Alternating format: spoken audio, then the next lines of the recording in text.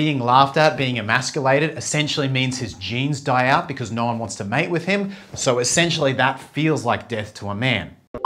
There are six things we as men really need from you.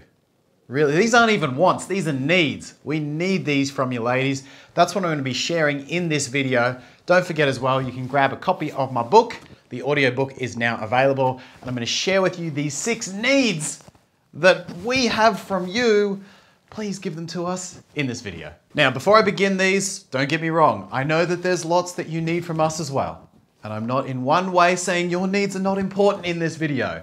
These are the things though that mean a lot to us when you give them to us. Number one, your pride. Ladies, we know we know as guys when you're proud of us and we feel big versus when you're not proud of us and we feel so, so little. You've got to ask yourself, am I proud of my guy? Am I proud of who he is? Do I want to introduce him to people? Am I proud of what he stands for? Am I proud of his values? Am I proud of what he's doing? Now, if there's been an incident that has led you to not be proud of us, for example, if we've cheated on you or if we've betrayed your trust in some other way, that's a bit of an exception. But excluding those incidences, really ask yourself, are you proud of us? Because we can sense it if you're not. And if you're not, and if you're not even proud of the work we're putting in, so you may not be proud of what we've built yet, but if you're not at least proud of the work we're putting in, then you've got to really ask yourself, are you the right woman for us? Because wouldn't you be better off letting us go towards a woman who can be proud of us for who we are if you're not feeling that way? Your pride really does mean the world to us. It's so, so important to us feeling masculine, to us feeling like men. We want you to be proud of us, and we know when you're not. As I say, if we've done something to cause directly you to not be proud of us, and we've got to kind of work our way to recover from that, that's one thing. If nothing like that has happened and you can't feel proud of us, who we are, then to be completely frank, you're better off being with a man you can be proud of, and we're better off being with a woman who can be proud of us. Number two is your belief. We need your belief in us. We need your belief in who we are, what we do. And this is a little bit related to pride, but particularly when it comes to our purpose. If you don't believe in us, if you don't believe in what we're capable of, it really feels like a lack of trust. And I talked about trust in a couple of other videos, but your trust in us and your belief in us, again, it makes us feel like men. It makes us feel like we can step up. And it actually relates to a coaching principle that I use a lot with my one on one clients, which is I, as the coach, need to see them as their very best, most high potential self. In other words, the woman that comes to me as a client, I need to see all of her potential. Because if I think her potential is a six, then how can I coach her to be an eight or a 10 or a 12? Even if she comes to me and her fears are like a 10 out of 10, that's belief. And that's why it's so important. A man can only ever grow to the belief that you have in him. Most importantly, if you can't be with a man you believe in and whose purpose you believe in, you're better off being with a different guy. Number three need we have from you is emotional safety. Okay, we need you to be able to name emotions. We need you to be able to spot emotions. We need you to be able to accept emotions. We as men do not fear physical safety. We don't care about that. We fear emotional safety or lack thereof. We fear being judged for our emotions. We fear being emasculated. We fear being vulnerable. There's a saying women fear physical death and men fear being laughed at. Now, personally, I think that saying's a little bit biased. I would change it to women fear physical death and men fear genetic death. And what I mean by that is we need you to make us feel emotionally safe by being skillful with emotions. And for a lot of the clients I work with, for example, professional women who have to be in a very masculine energy most of their day, this can be a challenge for them and it makes them frustrated because they're very highly successful, but they don't make men feel safe and they see men choosing women who are quote unquote less successful than they are. What those women are more successful at though is making men feel emotionally safe. You understanding that your ability to manage emotions and your ability to name them and be an emotional vessel, not judge them, a man's listening to you for that. A man will never go outside of your emotional range. In other words, if you're this good with emotions, he will go up to there. If you're this good with emotions, he'll go up to there.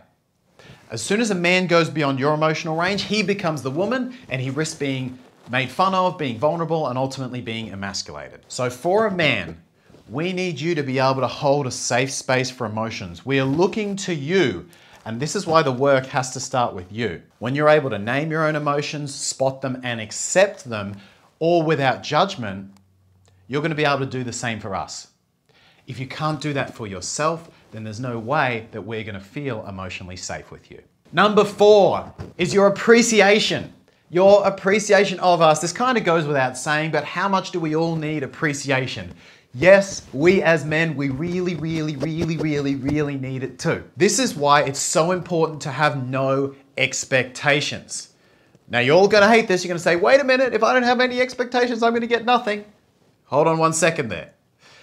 You've gotta have no expectations. Think about it. If I have an expectation of you to make me dinner, then how appreciative am I gonna be when you make me dinner? I'm like, that should happen. I don't need to appreciate you for it. That's my expectation. Whereas if I have no expectations for you to make me dinner, then I'm going to appreciate it every time you do it. I'm going to be so appreciative of you making me dinner. So you need to let go of your expectations. Now, I know what you're thinking. You're thinking something very reasonable, which is if I let go of my expectations, I let go of what I deserve. I need to have expectations from men. No, you need to have standards. You see, women with high expectations struggle to give appreciation. And women with no expectations and no standards don't get any respect. High standards, low expectations. You see, standards are about you and what you will and won't accept, but they're not about making assumptions. When you have high standards, you're willing to walk away from men who, for example, aren't trustworthy or don't treat you well, so you still get the respect, but because you have low expectations, you can still give the appreciation when they step up to that standards and expectations. Very important you get this. If you have high expectations and high standards, you won't be appreciative, and a man, again, won't feel safe with you because your expectations are so, so high all the time that he's always feeling like he's going to risk failing and suffering the wrath of not meeting your expectations. Whereas if you have no expectations and no standards, you'll just never get anything in your life. You don't want to be there either. You certainly won't get any respect. That's why high standards are very important and good boundaries around those, but standards are to do with you. They're not expecting anything of anyone else. And that's why you can lower your expectations and have a ton of appreciation when those standards are met. Number five, we need your patience. We need you to go slow with us, and this particularly applies to difficult conversations. In the rest of life, it's fine. But when it comes to difficult conversations like compatibility conversations, for example, if you guys are talking about having kids or how many kids in the future, future living location, future religion, future spirituality or work life balance, or if it's something relationship based. Maybe you want to give him feedback that there hasn't been enough present or quality time, or maybe you want to let him know that something he's been doing has hurt you. In those situations, and with those conversations, you really want to go slow. There's a saying a man will say the most valuable thing 30 seconds after you think he's finished speaking. I've done a few demo videos on this, but in any of these important conversations, ladies, go very slowly. Lots and lots of pausing. Zip it. Zip it for a while. Say your thing and then let him speak, and then let him speak more. It's important to allow lots of time and even days, you know, revisit the conversation tomorrow or the next day. One thing my own partner does, for example, is if there's something really difficult, she'll give me a week and that way I can talk to my coach and come back to her. Now, it doesn't mean giving him indefinite time and he can't just sandbag difficult topics months and months into the future. That's not what I'm talking about. I'm just saying that still hold him to a standard and make sure he gets back to you, but give him time and space to process, and he'll be a lot more forthcoming with his thoughts and feelings. And number six is we need your feedback and your boundaries. Now, this will piss us off at times, and we will tell you we don't want this. But you have to understand, you as a woman, your feedback and boundaries makes us better men. So let me give you an example. Let's say you're 33 and you want to start a family soon and you've been dating a guy for six months. And then for the second time, you find him on the apps, on dating apps. Now that's really sketchy behavior, right? If you let him get away with that, and if you continue to date him, you're basically green lighting the behavior. You're giving him your time, you're not giving him the consequences of his actions, and you're letting him just follow his impulses without any subsequent consequences. That's not training him to be a better man. That's actually enabling him and denying him those healthy consequences that would improve him and would give him more responsibility over his impulsiveness. Think about it. If you and every other woman he does that to leaves him, then eventually the pain of loneliness will build up and he'll become a better man. He'll actually look back and thank you and those other women for leaving him so that he could learn to handle his impulses. Your boundaries grow us. We may not like them, we may put up a big fight, and if we're particularly insecure, we, you know, some men will even gaslight you or come after you for calling us out, but it does make us better men. If every woman in the world did this, every man would have to step up. Your boundaries really do empower us. And when it comes to giving feedback, a little tip make sure you give your feedback in the form of feelings.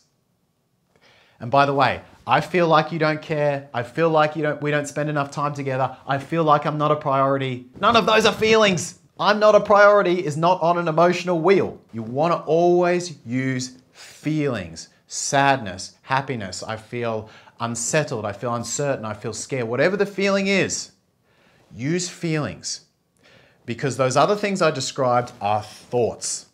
And thoughts can always be debated. We men, we love thoughts. I feel like I'm not a priority. Great. Now we're in a debate about whether or not you're a priority. I feel like we don't spend enough time together. Great. Now we can do a logical debate about the amount of time we spend together. That's not what you want. That's our specialty as men. You don't want to get into a logical debate about this. Your feelings cannot be debated we can't debate the fact that you feel sad. So when you're setting boundaries and giving us feedback, always use feelings. Otherwise, you're going to end up in a pointless debate and you're not going to feel listened to because the guy's going to take it off the topic. You can see how important all six of these things are to us, and by doing them, you make us feel like men, you get to feel like the woman, and we all get to have better relationships leave a comment, give the video a thumbs up, hit the big red subscribe button with the bell, and I'll see you in the next video very soon.